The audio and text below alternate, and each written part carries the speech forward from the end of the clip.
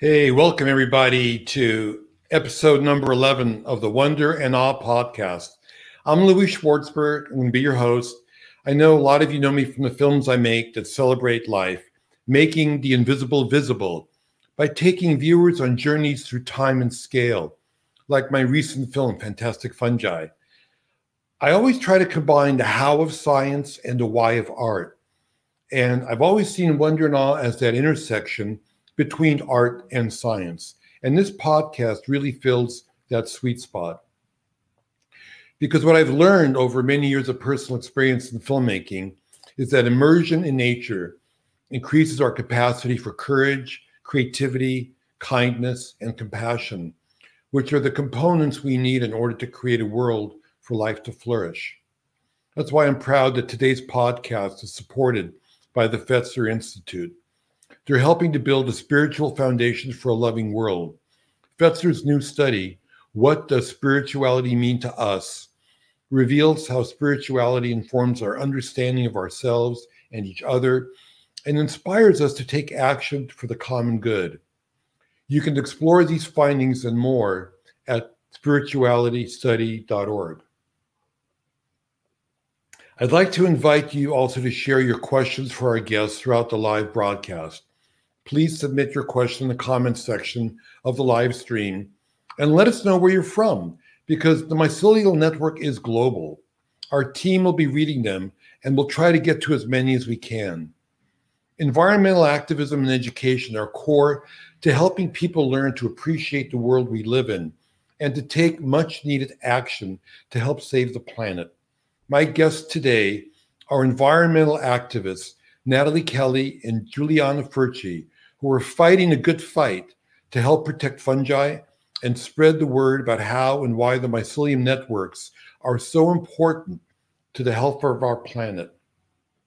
Giuliana Furci is the first female mycologist in Chile and, and the founder of the Fungi Foundation, the first NGO dedicated to protecting fungi. She's also the author of many books on mushrooms and a Harvard University associate she also helped to get fungi recognized as an essential organism in Chilean environmental legislation so that developers have to take the natural systems into account before building on a site. She's also the co chair of the IUCN Fungal Conservation Committee. My other guest is Peruvian Australian actress Nathalie Kelley, who's the star of ABC's romantic comedy The Baker and the Beauty and CW's Dynasty. She's also one of the world's leading activists promoting regenerative agriculture and indigenous lands and is a board member of the Fungi Foundation and Kiss the Ground. Today, I'm proud to welcome Nathalie and, Julie, and Giuliana to the Wonder and Awe podcast. Welcome. Yes, thanks for having us, Louie. Thank you so much. It's so good to share with you globally because Giuliana, you're in Chile. And um, I think Nathalie, you're in Ojai, right? Yes, yes, I'm in California. Mm-hmm. That's great. So I want to start off asking, where did this passion come from? Like, how did you start this work, and what inspired you to take on this giant effort? Um, well, thank you, um, Louie, and thank you, Nathalie, for this amazing space. Um, there is no other explanation um, to my journey other than the fungi chose me. Um, I had very powerful encounters in the forest. Um, working with different organisms. But it was when I encountered a fungus in um, in a forest in Chiloé, which is an island of um, southern uh, Chile, northern Patagonia, that I really felt this um, ineludible responsibility to work for them. So it's that they chose me, not that I chose them. That's beautiful. And, and Nathalie, um, where does this passion and drive come from for you? Well, it comes from you, Louie. you made a movie that changed my life forever. And so I have um, such a, a, a large debt of gratitude to you for, I love what you said in the beginning, making visible the invisible you know and i had had some uh, profound beautiful encounters with various species of mushrooms growing up um, i remember being in the um, Yaku, is is it the it wasn't the Yakushima a rainforest in Japan once. Mm. A fungi on the tree was just speaking to me, and I couldn't I couldn't move, and I remember being so entranced by it. And Fukushima had just happened, oh, wow. and and I was really like it was my first time really communicating with with a, with a non-human species and i was like talking to it like are you guys okay? You know what, what had happened was so intense and they told me about their capacity to to to clean to clean up and to um, yeah to be the, the cleaners of, of toxins. And I, said I felt this feeling of reassurance that they had got it. And that was years ago.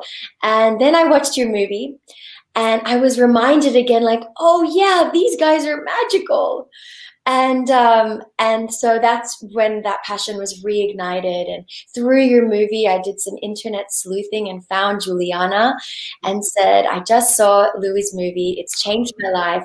I'm a storyteller. How can i be in service to the fungi? And how can i help continue to tell the story? Because you opened the door but there's so many more stories to tell.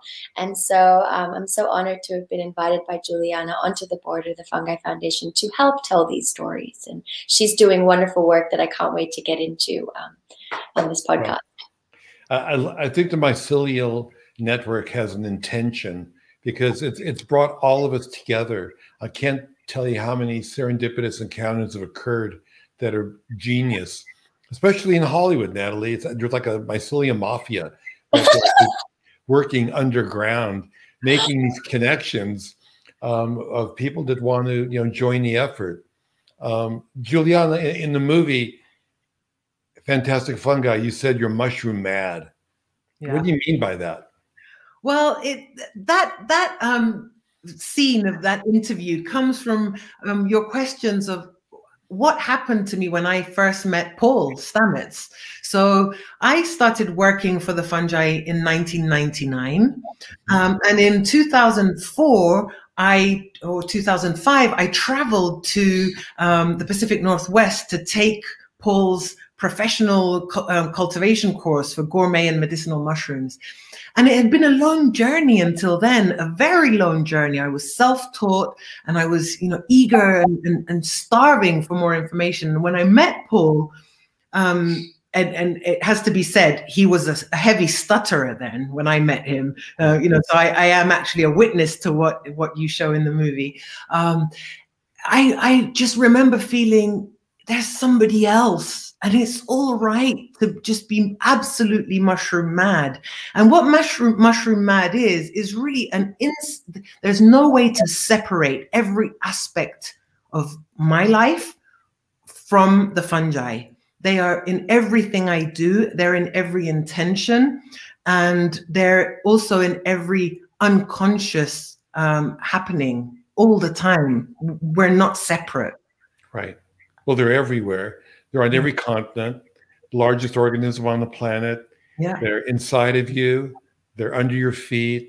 Um, yeah. But it's also it's also this this this um, very strong uh, force to work in service of them. Right. Yeah. So the the fun the Fungi Foundation has expeditions, education and conservation programs, and to develop also a, a deep respect for for elders. Uh, Giuliana, can you talk about the foundation's important work in terms of how people can help at home and get more involved to help the organization? Yes. Um, so, really, what the Fungi Foundation does is enable people to understand the the wonder and the magic of the fungi.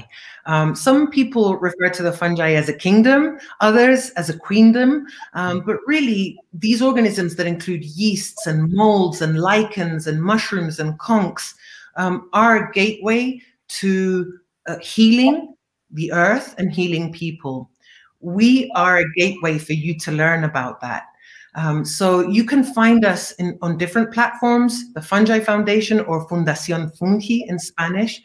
And um, through the material available, you can learn and you can learn to love fungi, to understand them, to respect them. And really, that's the first step to help our mission, which is to help the fungi be recognized, understood, and protected. And if you love that work, please if you can, support us um, through uh, every.org or through our webpage, ffungi.org. But really, our role is to nourish you with the information you need to love them. Oh, that's so beautiful. As you know, with all the years of filming I've done, I've come up with my mantra, which is beauty and seduction are nature's tool for survival because we protect what we love. Wow. And that, I believe, is a, a truth that makes the world go round you know? Yes, um, so let's take a look at a little short clip I have of Giuliana like foraging Chile, Okay? Let's play that. Look at this beauty. It's a mitrula or ostromitrula. We're not sure. We've been finding it everywhere. We're not even sure it's described. My name's Giuliana Furci. I am the executive director of Fundación Fungi, or the Fungi Foundation. That's the only NGO that works exclusively on fungi in the world. We've managed to um, trigger the inclusion of fungi in Chilean environmental law at the highest legislative level. What that means is that if you want to do a large housing development, build a dam, build a highway, not only does Chile evaluate impacts on flora and fauna, but also on fungi. And we're the only country in the world that does that. It's one thing to describe and know the organism because of what it looks like, but it's another thing to know and to try to figure out how it's really working in the environment. What's its relationship to the other organisms there. And basically, without fungi, no bread, no beer, no wine, no cheese, no yogurt, no chocolate, no soy sauce, and no forest. Without forest, no oxygen, you know, no environment as we know it. So when we get back from the field, each collection is assigned a number. There's one person photographing, another person at the microscope, somebody writing the data into a computer. We also then proceed to dry the mushrooms. The drying is important because that's the way mushrooms are stored in fungariums, and that's what we do for hours after the field. It takes longer than it does to collect them. We believe that there's nothing cooler than fungi in the world, and anybody who doesn't know that will know it soon because of the work we're doing.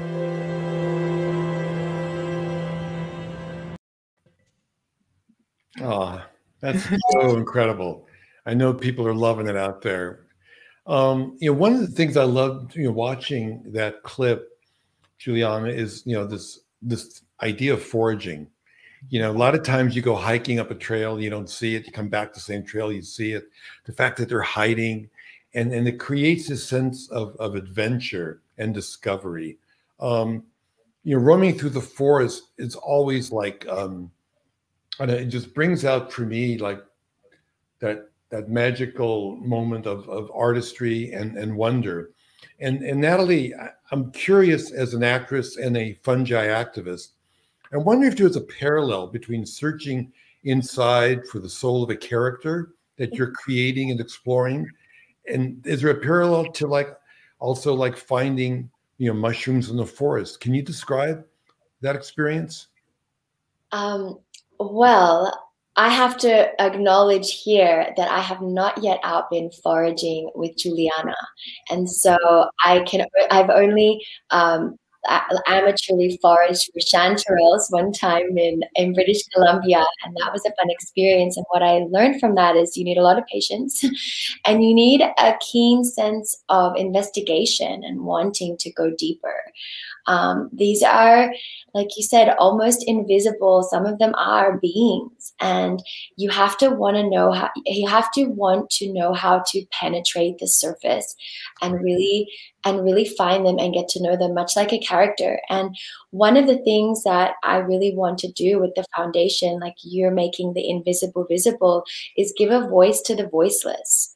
and fungi has been so underrepresented like as as Giuliana said only chile recognizes them as a kingdom slash queendom um, alongside animals and plants and and and so that that that itself shows you if only one country is recognizing this that the rest of the world has a lot of catching up to do in terms of recognizing their importance in the world. And that's because they are such invisible hidden enigmatic creatures. And so i'm like okay well how can i loan my voice and my big personality to give these little um, organisms a voice and, a, and, and, and recognition in the world you know? Because because their their stories are so promising for humanity. You know even just what we've discovered Giuliana what are the statistics of how many what's the percentage of fungi that has been discovered uh, versus undiscovered? So it's between 5 and 10% of the earth's fungal diversity that's described. So that's you that's what 90% that we don't know about? Think of all those stories we've still yet And if from that 5 to 10%, we've gotten stories like penicillin, LSD, we know about um, what cordyceps and, and lion's mane and reishi can do, imagine all the other potential out there that we're not tapping. And so that's what's exciting to me. And I, yeah, I, I accept the challenge of investigator to go deeper so that we can, you know, inspire, sporulate, as Giuliana says, like what you've done with your movie, you sporulated me and just go out there. And that's what we're going to need is citizen scientists to go out there and really help us. Because with climate change we're really losing places like old growth forests which has the most diversity of, of fungi. And so we need to be going out there now today. There is a sense of urgency to this story.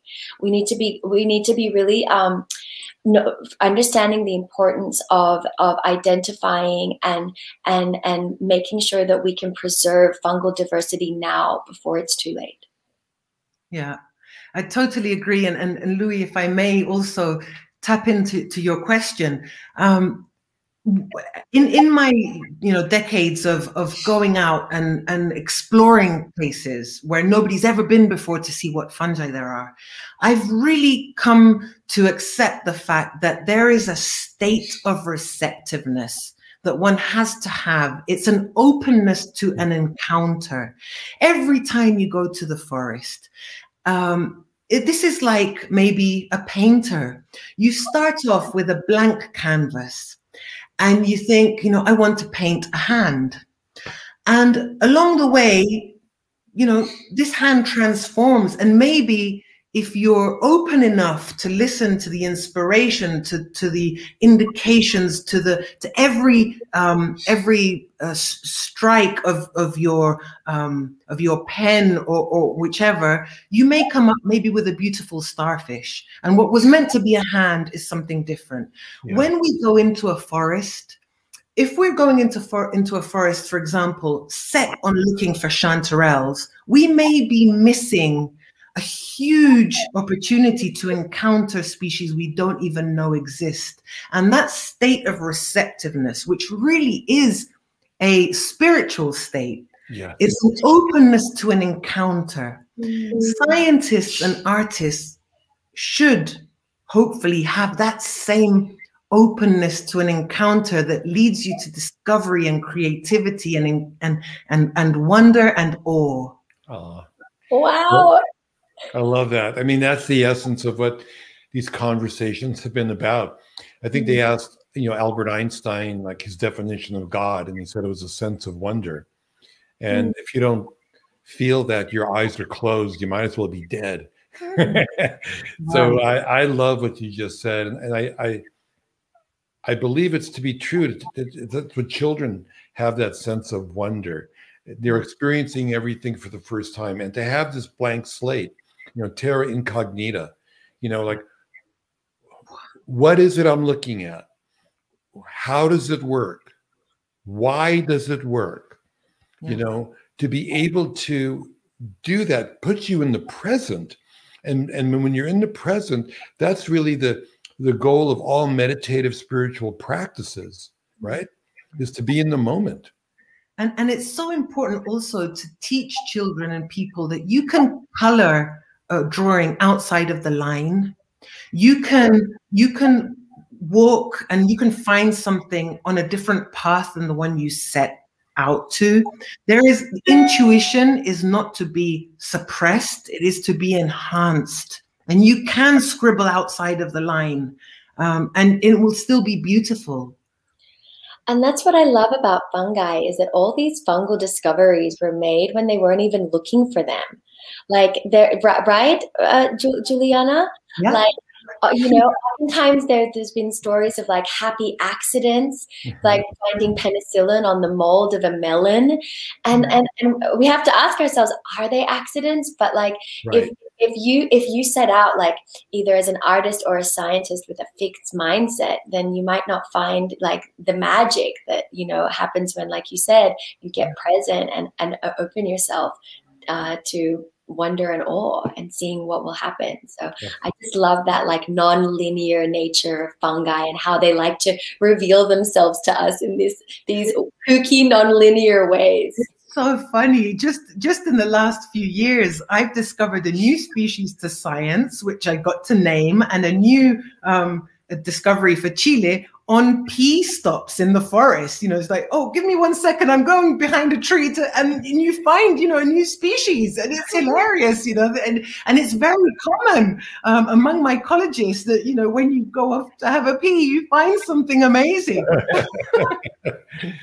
well, you know, eh, most living organisms on the planet communicate chemically, right?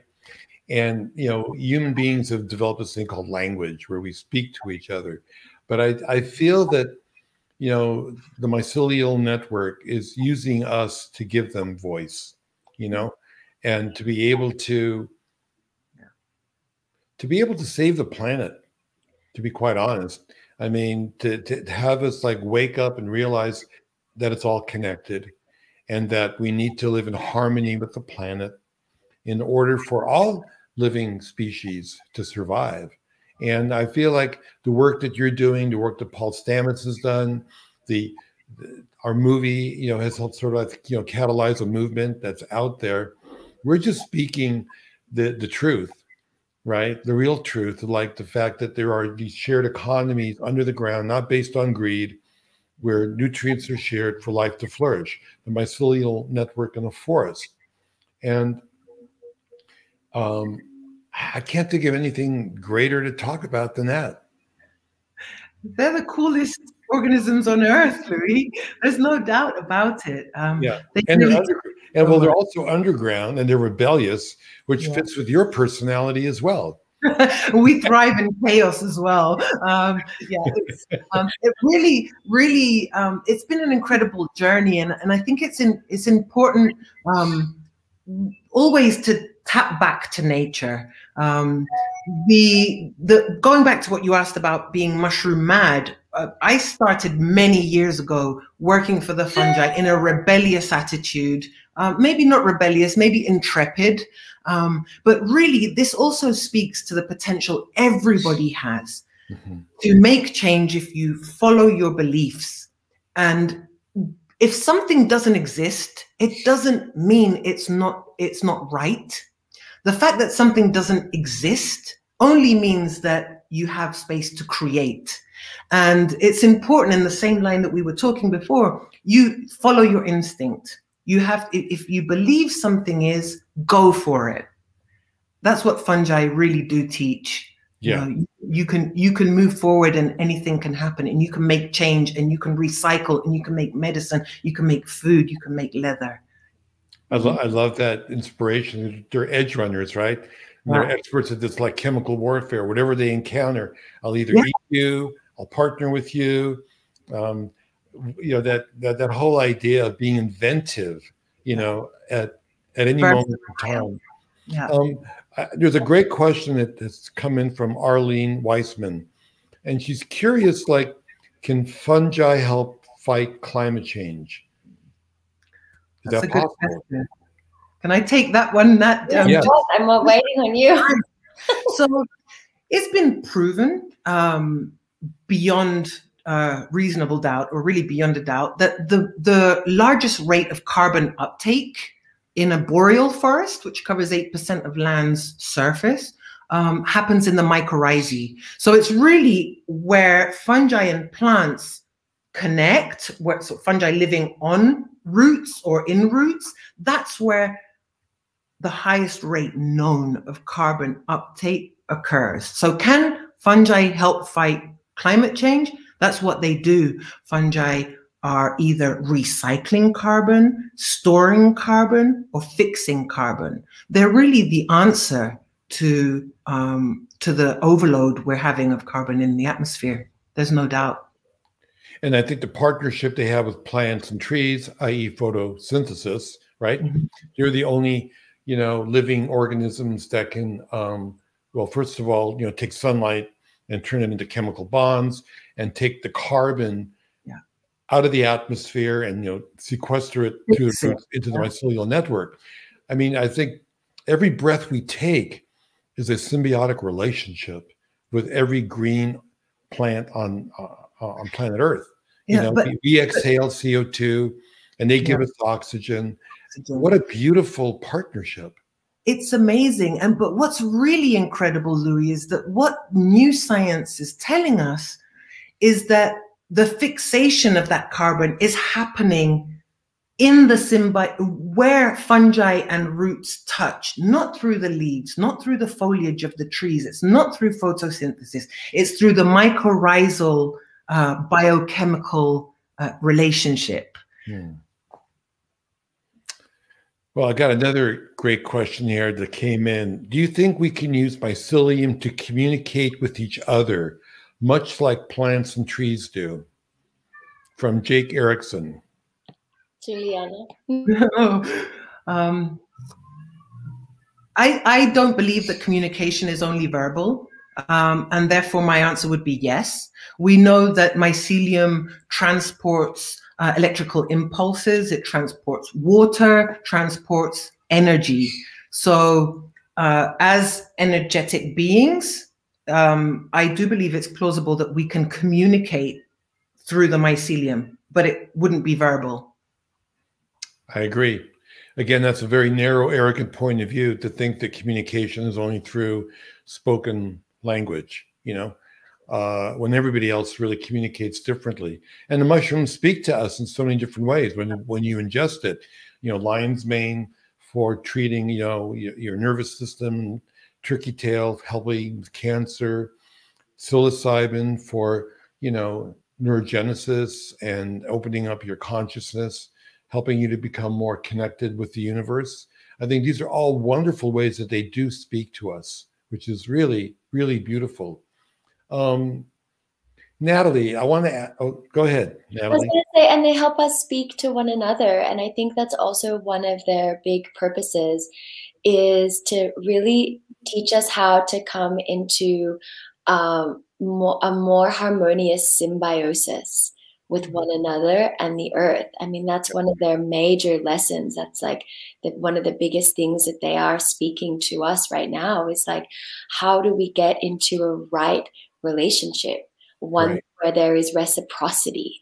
That's, I mm-hmm. think, one of their biggest lessons that they have to teach us is, is, is the, the uh, is how to live reciprocally with one another. The way that Giuliana was saying that the mycorrhizal fungi and the roots have a, this reciprocal beneficial relationship.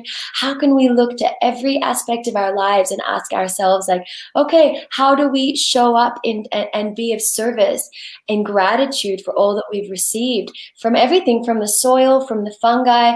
And as humans, we've gotten on this we've really gotten on this wrong path of like what thinking like okay well what can fungi do for me what can nature right. do for me and right. we need to stop to say what are we going to do in return um, and that's something I think that fungi are really here to teach us. And some the way in which ancient cultures and traditional yeah. cultures used fungi was very much in that sense to really drop in to uh, the understanding of inter interconnectedness and and oneness and our rightful place in the ecosystem. Absolutely. I look. I think we need a new story. I mean, we're both have like one foot in the entertainment industry and I'm so done with survival of the fittest and kill or be killed. You know, we need survival of the kindest.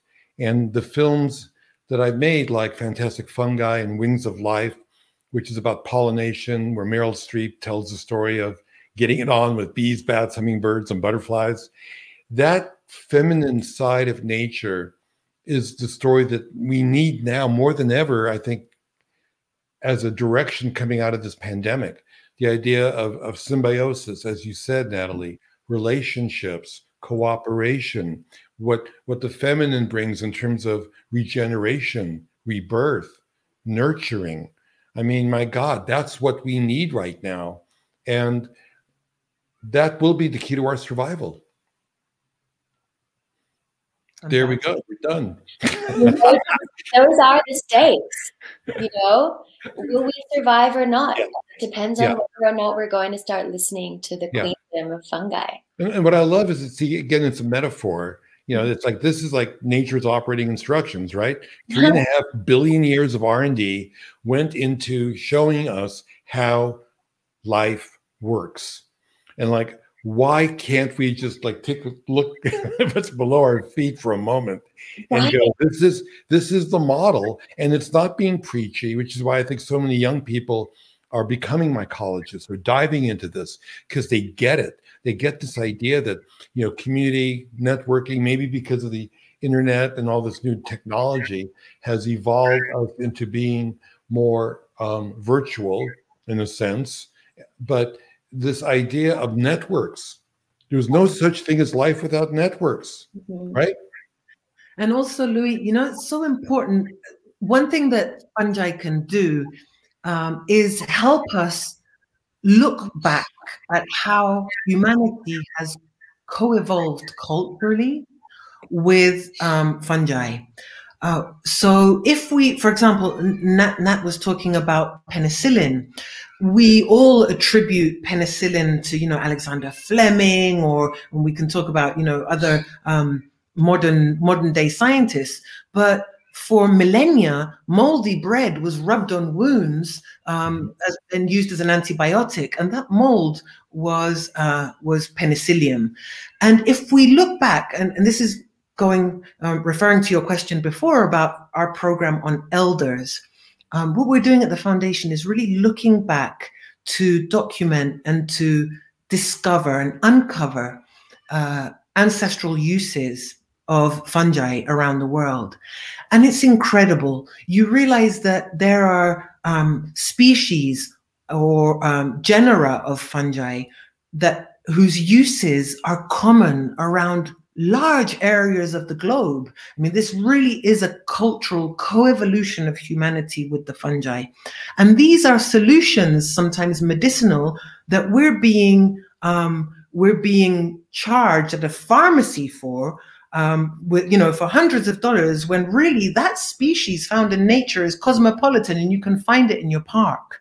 Right. So there are many important questions um, that can be answered or that can be brought up when looking at these ancestral relationships and capitalism, for example, and um, how and and the right to medicine, the human right to medicine right. um, from nature. So so that's also an important part of our elders' work is looking at what what our ancestors uh, discovered with fungi, how they culturally co-evolved, and trying to bring that back to modern day. That's so important. And Nathalie, I know you. This is like a, a passion of, of yours as well, right? Working, well, respecting indigenous culture. Yes, ancestral and indigenous uses of these medicines are so interesting. It ties mm-hmm. really into um, another passion of mine, being an indigenous Peruvian woman. You know, when I asked my grandmother what her uh, experience with mushrooms was, she said, well, when we were too poor to buy food, we would go down to the river and forage to eat.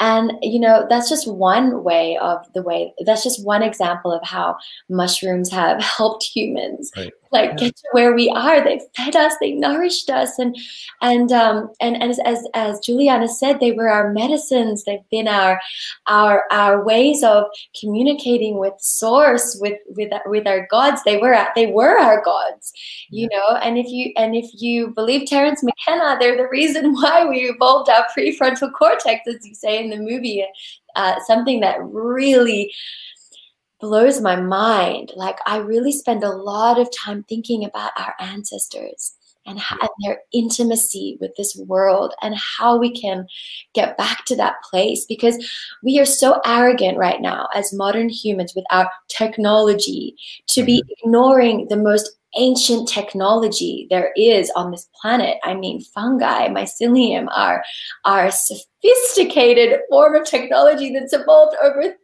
like millions and billions of years. And we're so arrogant to think that what we've discovered in this amount of time surpasses what they have learned.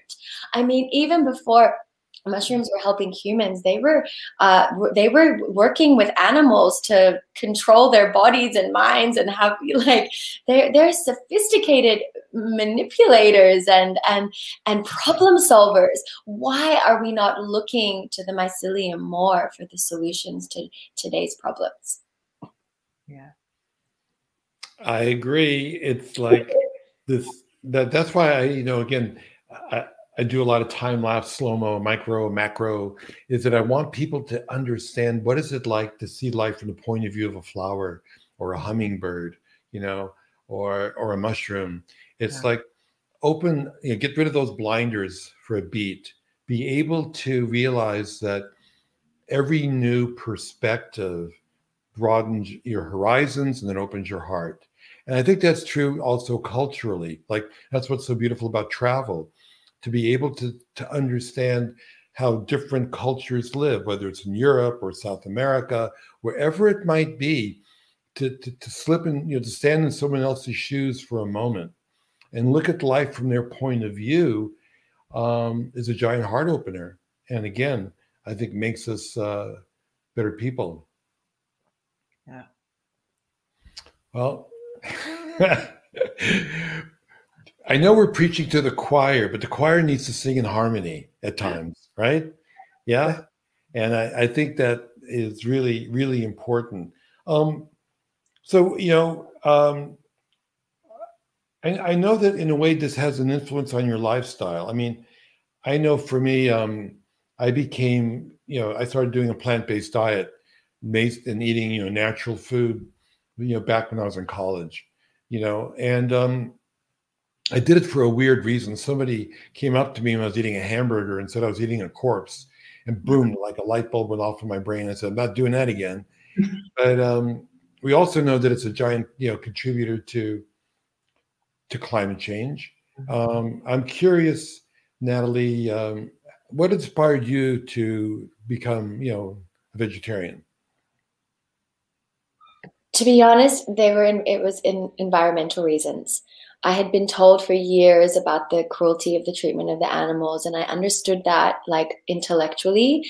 But to be to be very honest, nothing really hit my limbic system until um, the fires in the Amazon and then followed by the fires in Australia.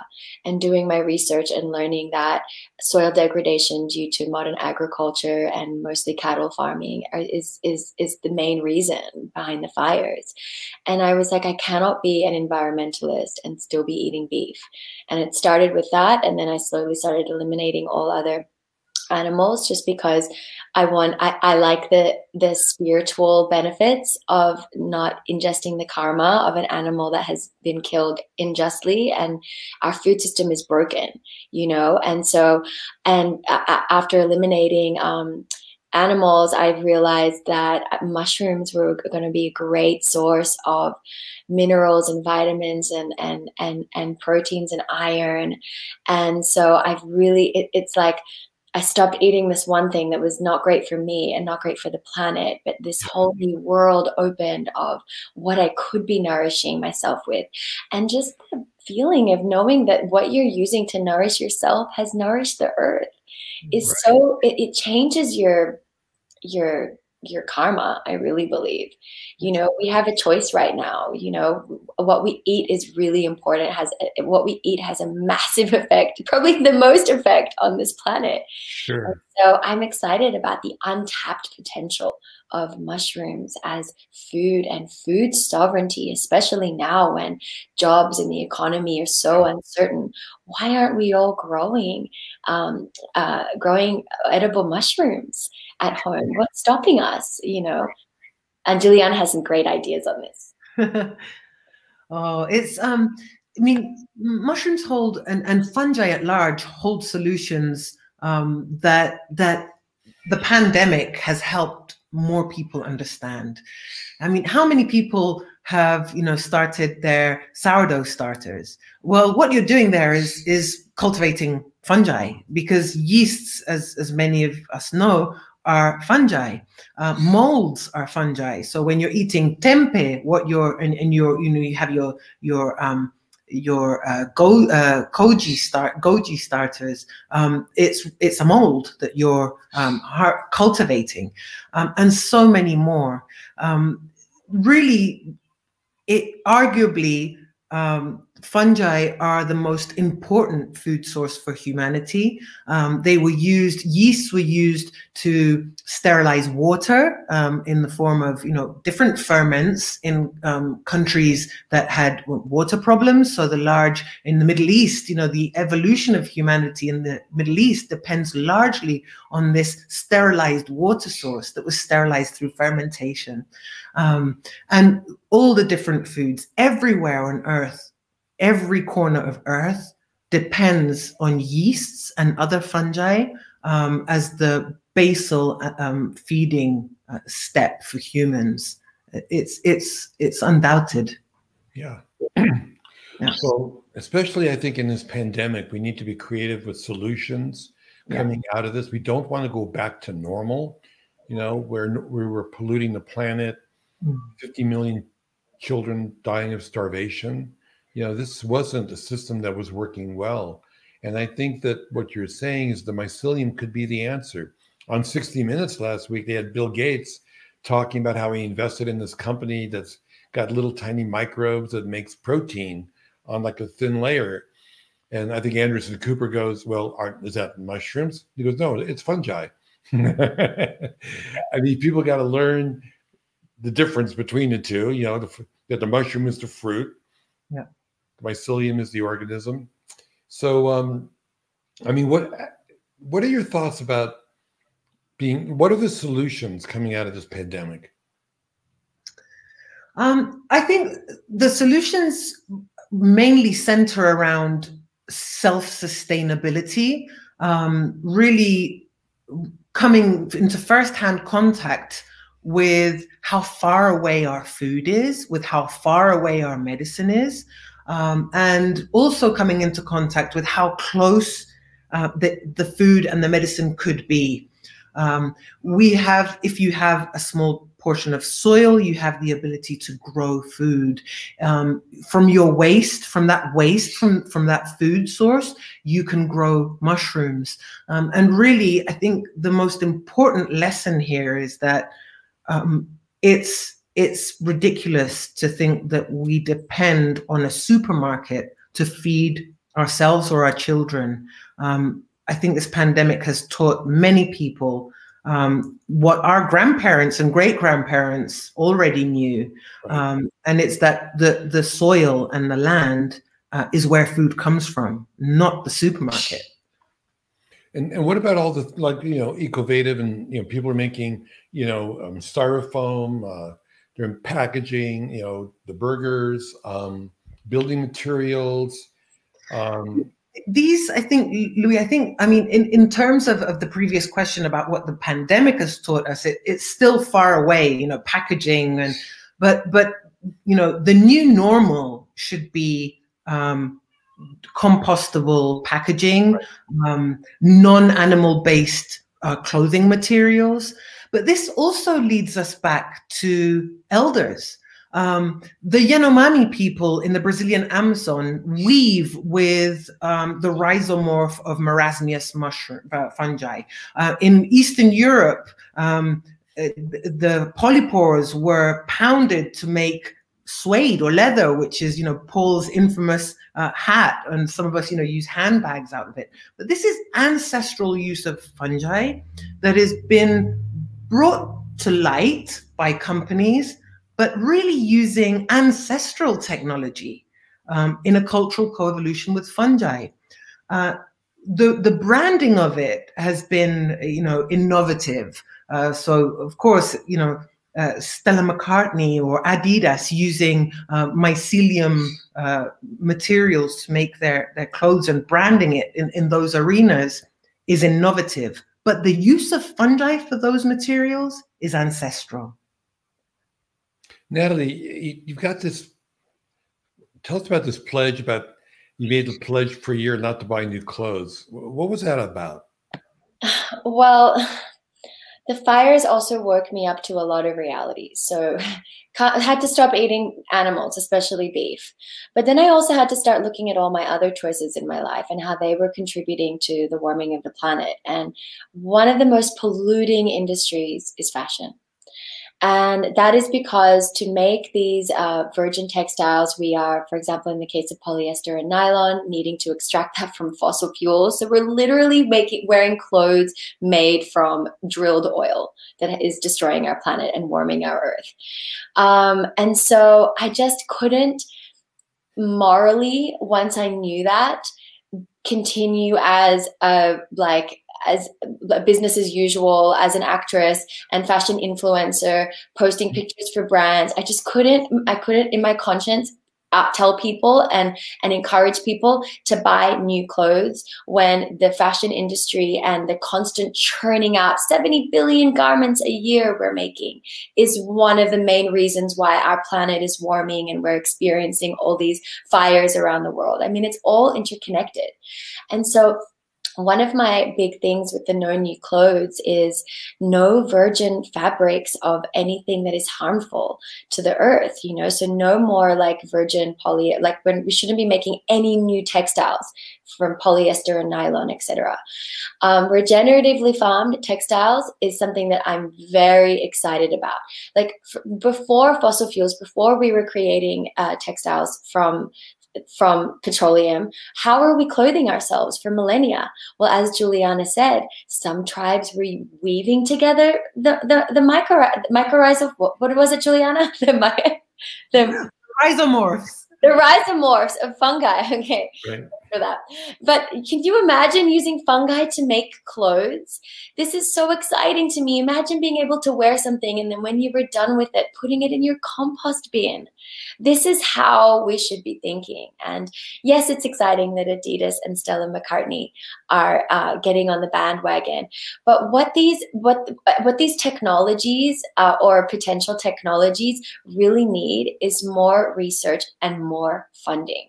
And so I'll use this opportunity again to say to people if you've been inspired by some of these potential technologies and solutions that fungi could offer, please consider supporting something like the Fungi Foundation. Because when I first joined, what I said to Giuliana was, why aren't we making clothes from fungi? Why aren't we replacing leather with fungi? She's like, it's lacking the research and the funding. And so, if yeah, we've all got to get excited about it and start envisioning these new new futures where we're not burning fossil fuels to make clothes and then throwing them away and then burning those. And you know, we're we're we're being more efficient and resourceful and creative with the way that we eat, clothe ourselves, create energy, etc. And that's something that I think fungi has a solution for. It's elevating consciousness, right? Like with all the choices we make, our food, our clothes, our transportation. Um, and certainly, what we haven't really talked about yet today is the fact that they can shift your consciousness. You know, the idea of psychedelics. And um, I mean, here in, in the United States, there's, you know, a lot going on. You know, we have so many cities now that have decriminalized, you know, psilocybin for medical use. Oregon, the whole state decriminalized it. And now with this Biden administration, um, Hawaii is pushing. There's a lot going on, I think, in terms of you know loosening the kind of draconian laws that go back to Richard Nixon, which we we showed in our movie. How crazy that you know somebody made a mushroom illegal. Why? Why the mushroom didn't do anything bad? like, why is it illegal? Only because he was trying to, you know, um, fight his political enemies you know, the, women, people of color, the hippies, the anti-war movement. That was just a political move, like Trump has shown political moves using the Justice Department to hurt your enemies. So um, let, let's talk a little bit about that because I think that that is another way that the mycelium is speaking to us. You know, it's interesting that um, if if if people watching or listening and listening haven't read Entangled Life by Merlin Sheldrake, they should do that as soon as possible. Yeah. And one of the interesting things in Merlin's book is, you know, this notion that maybe psilocybe, psilocybe species of uh, one group of the so-called magic mushrooms, although of course every mushroom is magic, um, really the the um, the move of the these fungi and these mushrooms and mycelium around the world um, is almost analogous of the, the mushroom farming us or the fungus using us to propagate. Um, the power is undoubted. Um, once again, it's an ancestral use that has helped humanity um, evolve culturally. Um, and um, and also another one of these ancestral uses that could free us of the dependency on, on pharmaceuticals. And this is very important, very important. Um, it, mental health issues are way too uh, common at the moment, are way too frequent. Um, and it's driving debt, it's driving a, a, series of side effects that are even unimaginable. Um, it's driving uh, the sense still that being different is wrong. And I think that um, psychedelic uh, mushrooms and um, psychedelic compounds derived from mushrooms have the possibility to really bring us closer to health um, and bring us closer to the health of, na of nature, the nature of health. Mm -hmm. It's the mm-hmm. nature of health. You know, it's really ironic. Um, uh, next month, we're going to be doing a clinical trial here in Santa Monica at St. John's Hospital um, with the Pacific Neuroscience Institute. So it's to treat people with alcohol addiction, which is you know legal and billions of dollars is spent getting people to to get drunk, and so people are going to watch my imagery of you know, rhythms and patterns of nature as they um, have a psilocybin you know session with a trained therapist to help them understand their self-destructive tendencies, which tends to be the root cause of you know any addiction, right? Alcohol addiction, smoking, etc. And it's amazing again for using a quote unquote you know illegal, according to the government, you know substance to to help people that are suffering on a massive scale. I mean, think of all the people that are dying from you know liver problems and car accidents, um, violence, you know, you name it, all from uh, the abusive use of, of alcohol. It's incredible. And also, if we um, if we look at um, the use of, of or the abuse of alcohol, I, I, I can't help but mention that fungi have been used in other ways also to try to combat um, the abuse of, of, alcohol, and it's through uh, a compound that's synthesized from the coprinus mushrooms. Hmm. So if you like foraging and you forage, um, we call them the ink caps, right? Commonly known as the ink caps. The ink, ink cap should never be um, consumed with alcohol because it has a natural compound that gives you, you know, just a, a, a, um, a metabolical, you know, short circuit. And many of the um, medicines that used to treat alcoholism are derived from the compounds found in the coprinus. But they're only administered and made available in a way to make you dependent on purchasing that medicine. Whereas with psilocybin, for example, it's been proved that in most cases, one single experience will will be enough to make your life better for mm. yourself and for the people around you. So um, I think one of the most important things that psilocybin therapy is pushing is the notion that we really do not need to depend on um, perpetual use of of pharmaceuticals to live well, and it's it's right. important. Yeah, like the SSRIs. I mean, all they do is they they numb you, you know, and you know sometimes people are worried they're going to have a bad trip, but the reality is, I think that the the, the psilocybin they bioremediate your soul. Mm. They know how to go down deep and figure out what needs to be fixed. And a lot of times it's stuff that's been buried and stuff you don't want to deal with, right? And I love the fact that they they have that intention. And so no, it's it may not be a pleasurable experience for some people if they have trauma that they haven't dealt with. Um, I love that idea that just as how they bioremediate the soil, they can just go through every little cell in your body and you know do like a, a checkup and go, whoa, what needs to be fixed here? You know? And if there's buried trauma, then we need to look at that. Mm.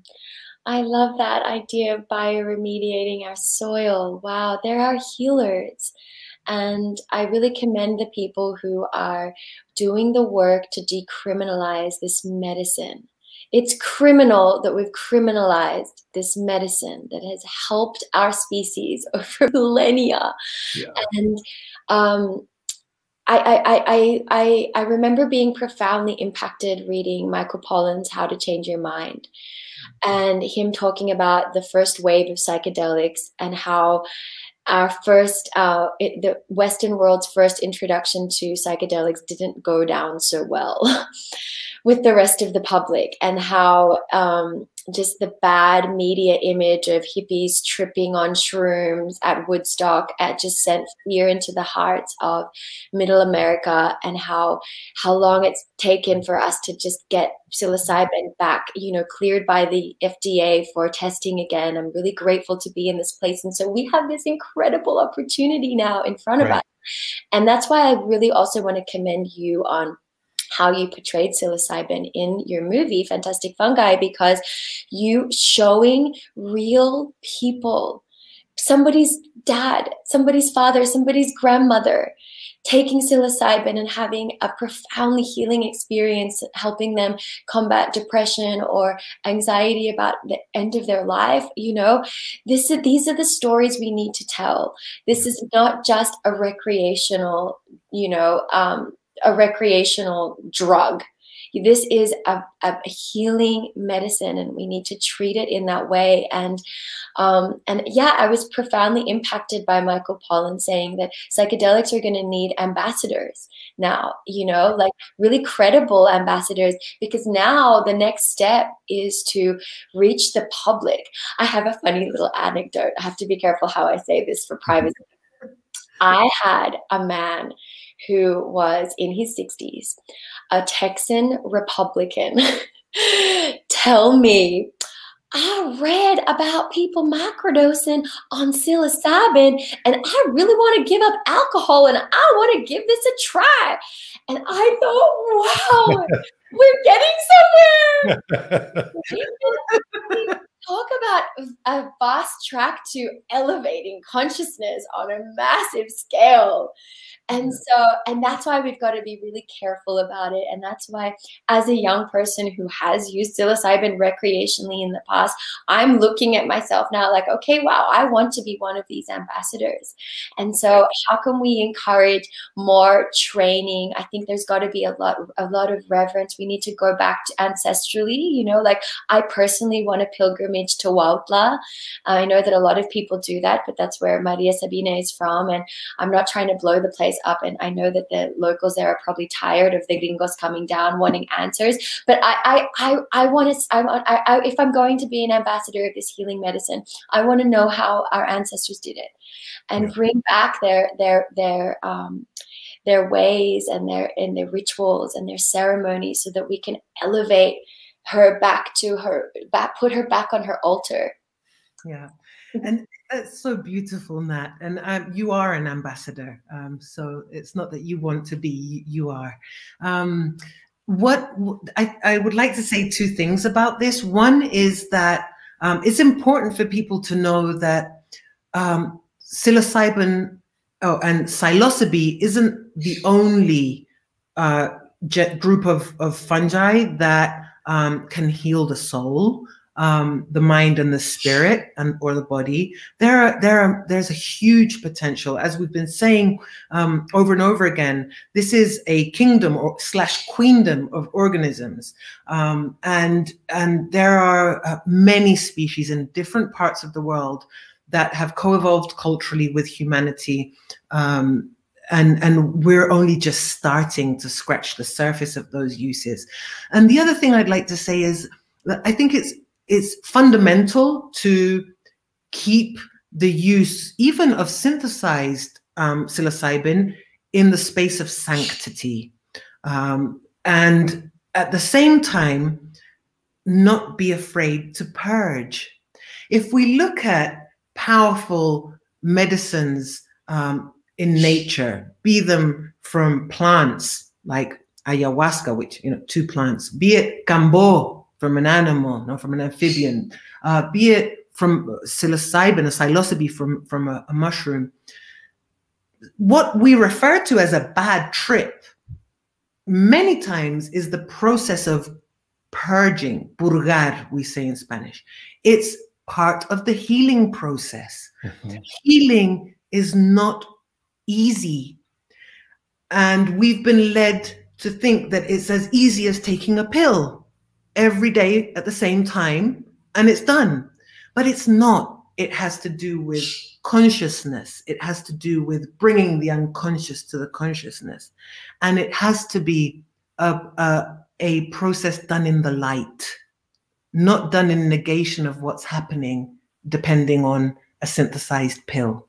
And it's important to, to keep that and, and to embrace even a bad trip especially as pharmaceutical companies start eyeing psilocybin, we mm. have to really make sure that we're standing up and we're warriors for, like Giuliana said, the sanctity of the plant and not let this get in the hands. This is a very precarious time.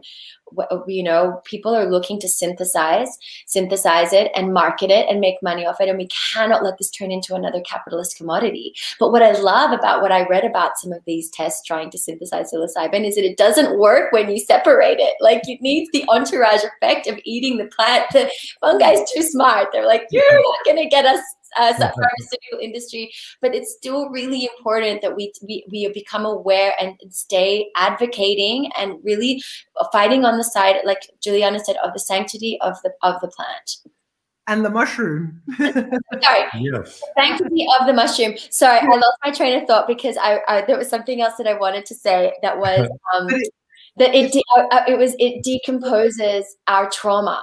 How amazing right they're these decomposers and that they're coming in and it, sometimes that's uncomfortable and we have to we have to get comfortable with the process of decomposition. Because i actually think that's what's happening in the earth right now. We're going through this death cycle in, and we're going to need the fungi to help us decompose it so that new life can grow out of it. Yeah and as a mantra um, i think a useful one for many people is that it's not rock and roll anymore it's rotten mold mold, not rock and roll. We've got to embrace the rot. Let it rot. Amazing. Yeah, I think that's a beautiful way for us. I think to uh, conclude this like really you know spiritual talk, um, and give us, I think, the inspiration of what we need to do to go forward. Um, again, you know, decomposition is not the end of life; it could be the beginning of life we're going through this incredible period right now to breakdown and breakthrough, right?